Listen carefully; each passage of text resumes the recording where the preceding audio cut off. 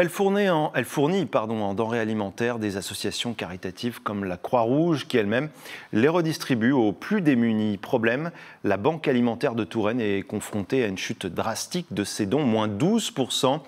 Alors en attendant la grande collecte de mai, eh elle est obligée d'acheter des produits, une première. Les explications de Sarah Gros. La Banque alimentaire de Touraine n'est pas épargnée par l'inflation.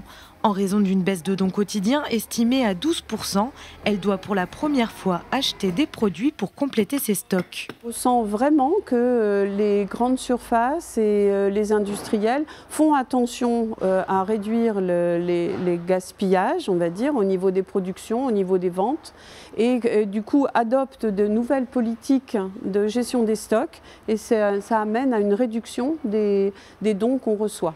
Une part d'approvisionnement minime puisqu'elle représente environ 2% des stocks, mais reste nécessaire pour pallier l'inflation le total de, la commande qu'on a reçue. Là. Euh, il, y avait du, il y a du sucre, il y a des, sauces tomates.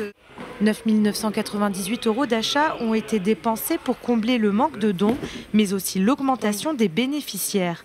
Une hausse estimée à 12% selon le président de l'association.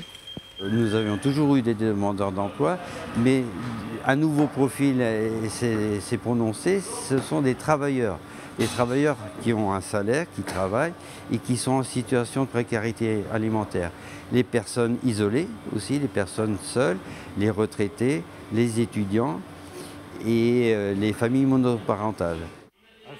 La Banque alimentaire souhaite optimiser ses chances en étant présente dans plus de magasins pour la collecte de printemps qui se tiendra sur deux jours et demi, du 12 au 14 mai.